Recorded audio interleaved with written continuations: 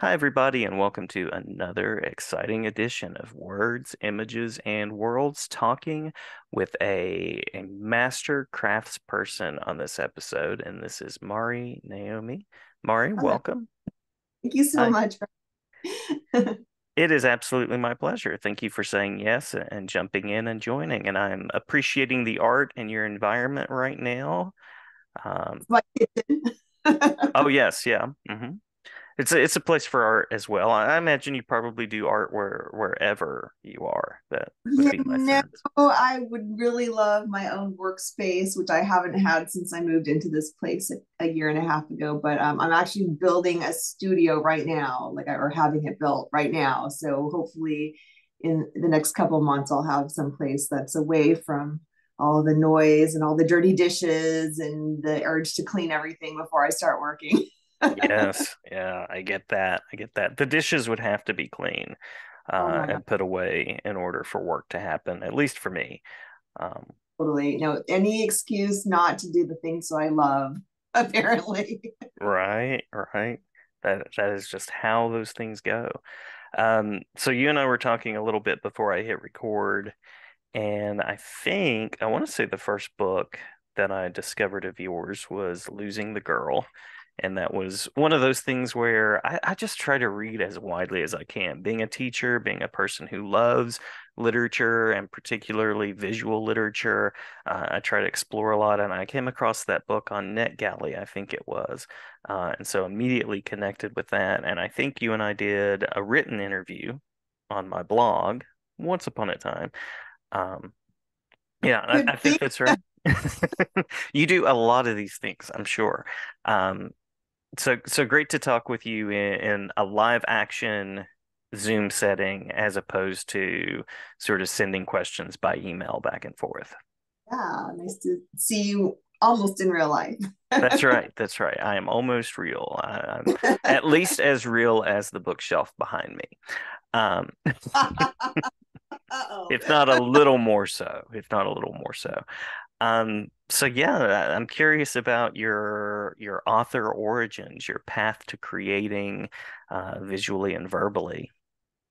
Um, well, I so I'm about to turn 50 in August, and um, from a very young age, I I really wanted to be a novelist, um, prose novelist, and uh, so I was really really hyper motivated for that when I was a kid. And by the time I was 18, I wrote my first book. By the time I was 21, I wrote my second novel, and I was trying to get them pub- published. And I was like, oh, this is not the same experience as writing. This is horrible. Um, Mm, and that's when my dream of that died and i switched to uh, something a little more career oriented uh, so I, I got a job in video games and became a video game writer after a number of years and so that's how i was supporting my art around that same time i um, had recently like in my early 20s discovered uh, underground comics mhm, and mhm. blew my mind. And they were so personal and um, to down to earth. And reading Twisted Sisters, uh, the anthology by Diane Noomin, editor, uh, specifically Mary Fleener's uh, story, The Jelly, it, which was about her hot mess of a roommate. I was like, oh, I have stories like this. I love to draw. Uh, I would love to make comics. And so I just, like a mad person, just began making comics and I haven't stopped. That was in 1997, February of 1997. Never stopped. Um, but, you know, it's one of those, the many hobbies that I have. Like I've always loved painting, collage, and, and you know, all sorts of things. Uh, Mhm. whatever reason, comics is sort of what ended up taking off as a say and, and I was also again working in video games, so I was making my money there, and then the comics sort of took off and to the point where I couldn't do both. So I had to make a decision to kind of cut off the job that was giving me more money Right, right. to pursue the comics thing. So uh, you know, it's it, there's been ups and downs, but that's how I got. Uh, but it was truly I never intended it to be a career. It was going to be a hobby. Um, but with the rise of graphic novels and graphic memoirs in the early 2000s like that it's sort of where i went but that was never my intention i just wanted to make the art and enjoy it and share it with friends and family Nice, nice. Yeah, and I I know that there has to be passion there because I know graphic novels take a long time to put together. They're they're quite the long haul and uh yeah, hours and hours of thinking, writing, prepping. yes my first book kiss and tell which came out in 2011 i had started working on that in, in 2003 uh, yeah and I, I it's not that I, I wasn't working on it full time it was my wasn't my day job, but I was pretty consistently working on it um, in the form of mini comics that, and it just turned into something bigger. So by the time I got my first publishing deal in 2009, like I'd been working on it for a very long time. Mm-hmm. And uh, that was HarperCollins put out my first book. And uh, yeah, it just all kind of blew up from there. It was, and then, yeah, 20 years later, I'm starting to get footing.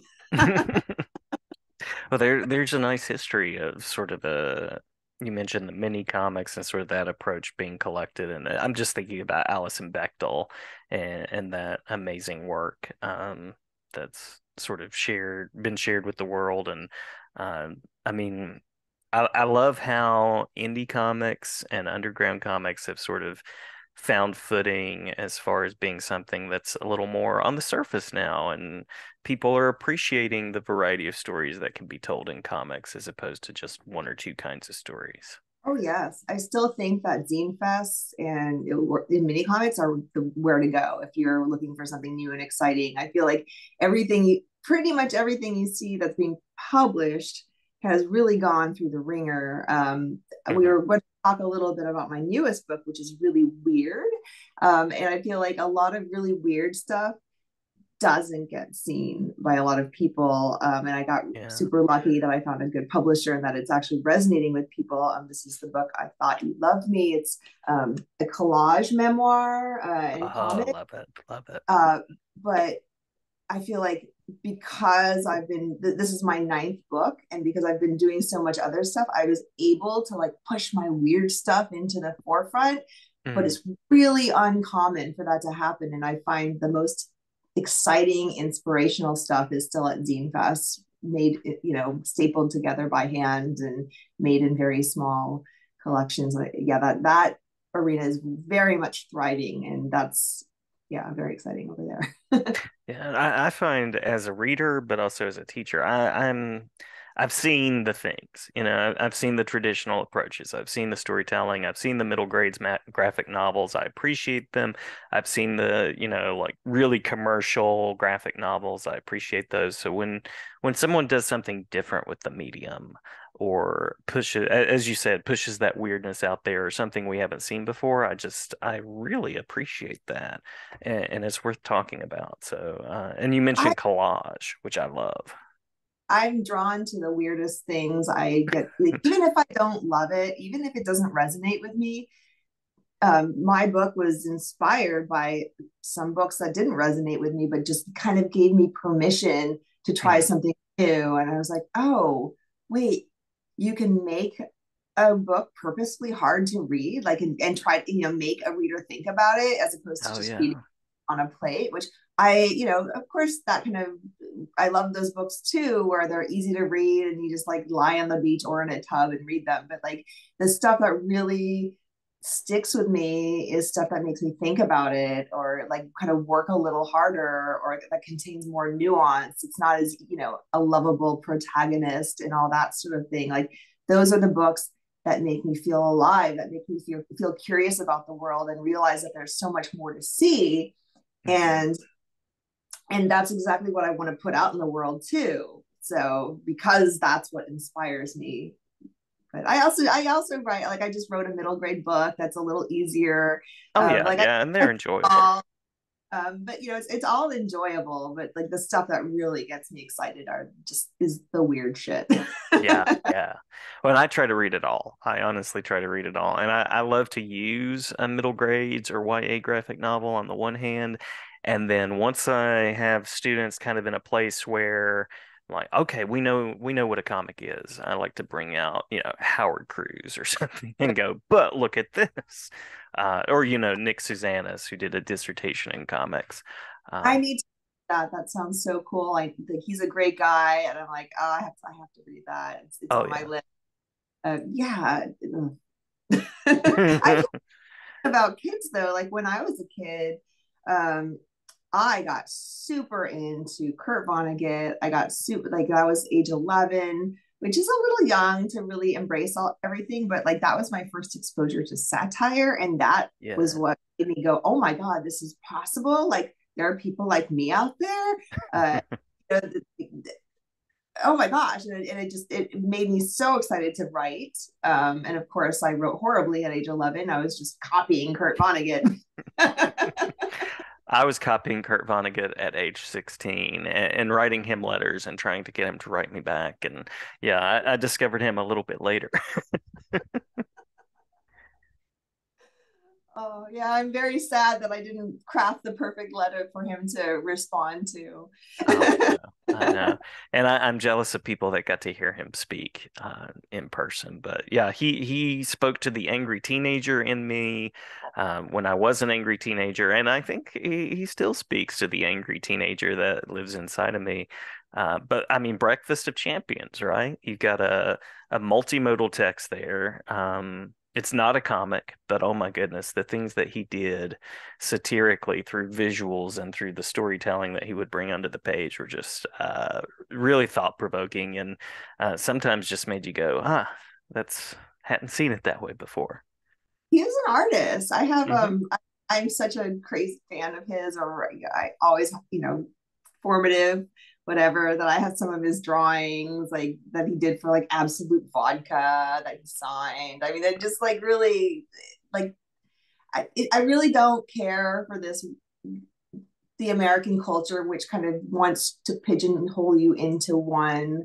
Mm-hmm. Like what you want to be when you grow up, choose one. It's like, well, no. And I feel like most cartoonists kind of can't choose one. We want to do it all. Like, but but also most cartoonists do other things too. Like a lot of us are musicians. I'm not, or painters, or you know, dabble in other things. Um, and I I really wish that the American like Northern American culture would embrace more of that of like the mm-hmm. Renaissance. Mm-hmm. You know, because I feel like a lot of times other art will inform other art. So like my comics are informed by you know museum visits or multimedia installations like those all are very exciting. Movies obviously are a huge inspiration sometimes. Oh yeah. Yeah. Yeah. Yeah um just thinking about what kurt vonnegut would be writing right now if he were alive from just the past four or five years it would be really interesting. And uh, that was that was another thing during the pandemic I kind of revisited his work just to think about okay, what what would this guy be saying right now at this period in time? Yeah. Yeah. Interesting things. um, but uh, let me also mention, uh, because I was going to ask you about turning Japanese, which I've had the chance to look at on NetGalley as well. Um, that is currently being re released uh, repolished and refinished, brought back from a time ago. So anything that you would want to share about that work? Um, so that came out. Uh, so I had the idea of that right after Kiss and Tell, uh, and I was working on that right after Kiss and Tell, which Kiss and Tell came out in 2011, but I was working on it in um, until 2009. So I was mm-hmm. working on Japanese in 2009 and doing the character designs and yeah, just just putting it all together. And so I had that pitch ready um, after the first book uh, that I did. I feel like it kind of came out like I was done too early. I feel like all publishing is kind of like what's hot right now. And um, Asian American stories were not hot in 2009 or 2010, or even when the book came out in, I think, 2016.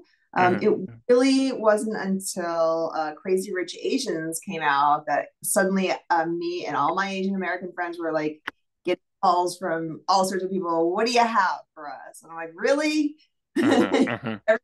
trying to tell us not to write about race all this time or you know about ethnicity and now you want our stories i'm like i've moved on i'm talking about this other thing now right um but i mean it's it's good but it's also you know you can't you can't ex- really know what's going to be hot at any given moment. Um like right now middle grade super hot but it's like comics Mhm. take so long to do that i'm just like well by the time my middle grade book comes out in 2026 is it still going to be hot or are we going to move on to something that hasn't been done yet you know?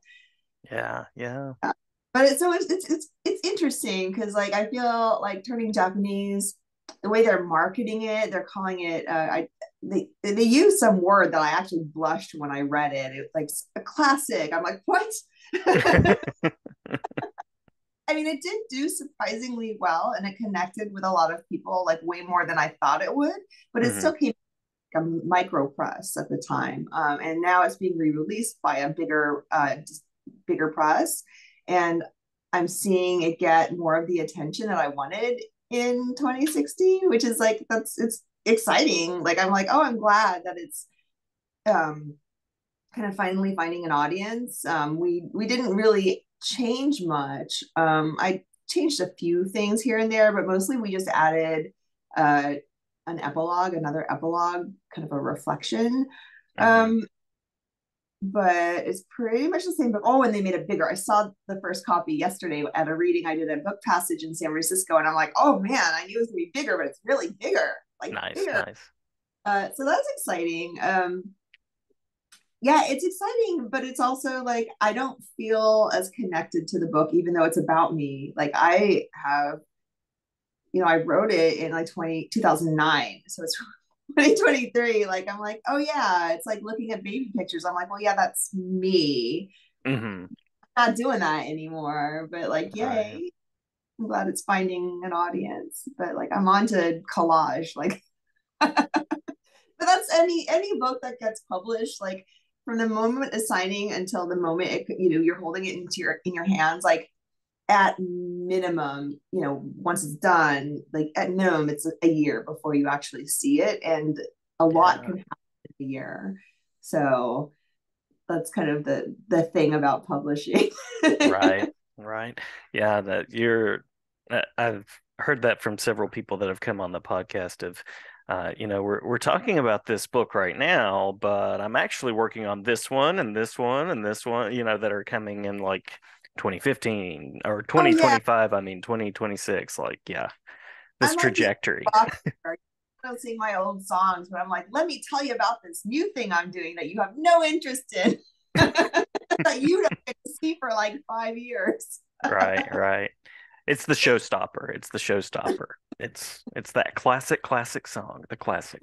Um so so let's let's talk about that as we're as we're sort of uh wrapping up and i i tend to ask about um like what you want readers to take away but it sounds like that probably depends on the project because it sounds like you're putting a lot of different avenues of expression out which is, which is great i love that um, love that you're crafting for middle grades. Love that you're crafting collage. Uh, I love the breadth. I, I appreciate that. Thanks. I mean, I, I just have a short attention span. So I think that's what it comes down to. What I think that when I feel like, and this sounds really narcissistic, but I don't mean it in this way, where I feel like once I've figured out how to do something, Mhm. instead instead of like, oh, I know how to do it well, I'll keep doing it. I'm like, okay, no, I figured this out. Time to do the next thing. Mhm. And Mhm. With turning Japanese, I feel like, okay, this is what I've been trying to do all these years, like with all the shorter comics or with Kiss and Tell. Like I, I don't feel like Kiss and Tell was very polished. Um, so I feel like turning Japanese was pretty polished and like did what I wanted to do, like got the thing that was in my brain out on paper. Um, but I'm like, okay, I'm done with that. And it's Yeah. funny because once something is successful, everyone's like, okay, do more. I'm like, no, I did that. It's like I already solved that crossword puzzle. I'm or or that jigsaw puzzle. Now I want to figure out this other puzzle. Mhm. Um, Mhm. so yeah, right now my head's in the whole um, mixed media space of, of I, like I love like the, the thing I'm loving about collage, which I've always loved about collage, but but it wasn't very accessible until I got an iPad and Procreate, which just makes it so much easier to take a photo that you took and turn it into a collage. Um, mm-hmm. Is uh, I, like I get to use my like hobby photography skills. Like you know, I I'm I'm using my narrative skills in like a new way, and like uh, like my favorite thing in the world is visual metaphors, and like that just opens yeah. up completely. Like every image that I use, like there's a metaphor in there. You just have, sometimes have to dig for it. Like, um, gosh, I don't.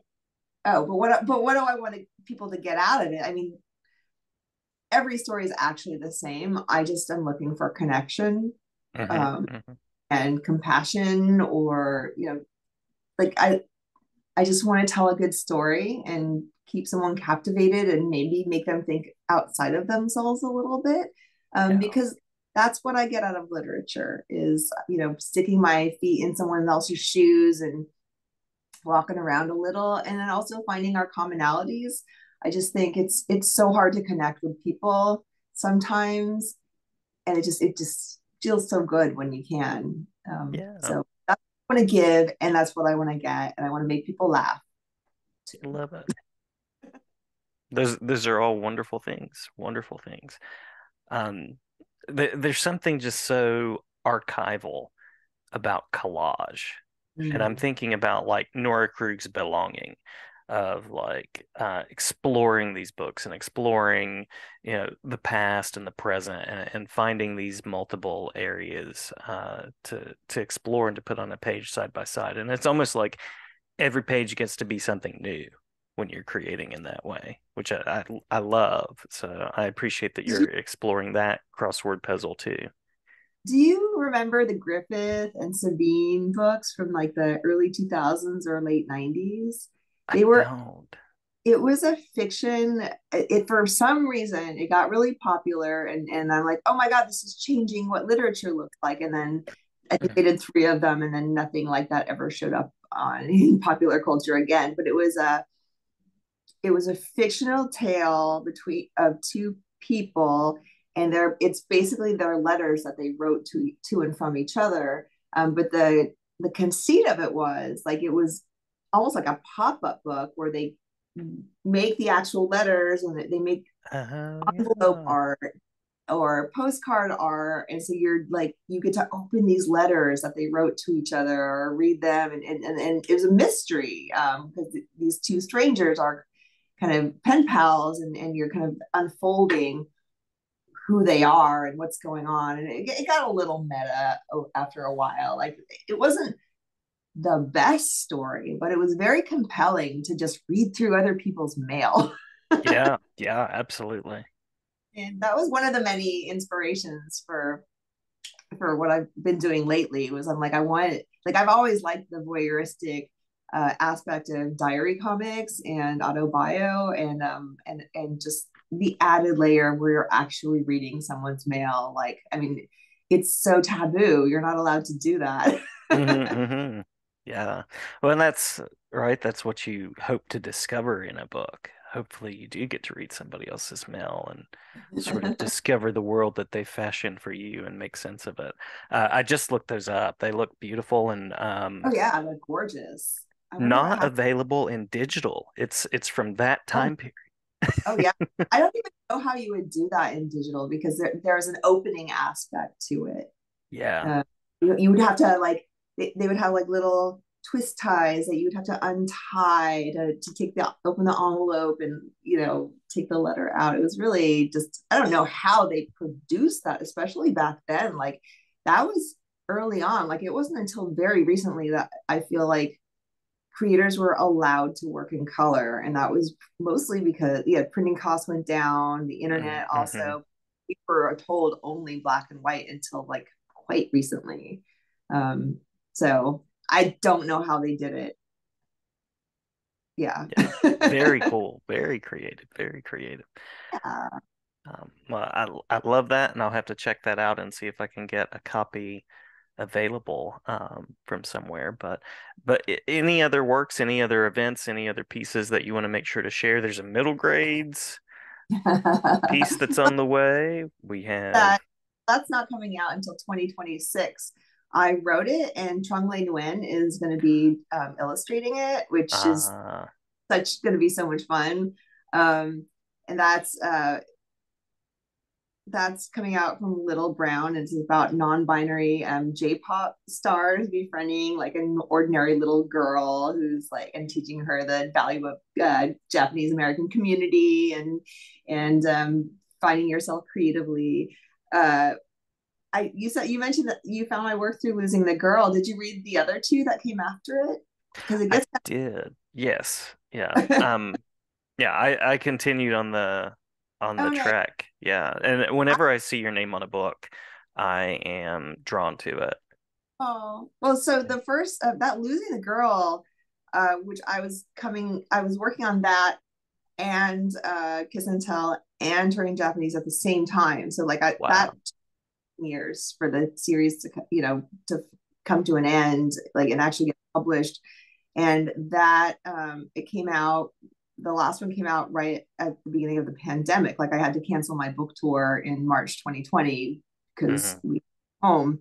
So i feel like most people haven't read the last one but i'm like oh that's the exciting final conclusion. But like i'm still super excited about that trilogy just because it was just it was so new. Like it was such a like i i really trying something different. Like that's when i'm like you know what? I'm just going to make weird art from now on. And like that that was me trying and um and that was me yeah executing it. But also that story um was inspired by the friend that i thought you loved me is about only i wasn't ready to talk about it yet Ah. um because i had just found out like the reason why she had ghosted me um I, so so in summation i thought you loved me is about a formative friendship I had. She was my first girl kiss, but like we were just best friends for a very long time, uh, for about 14 years. And then one day she just disappeared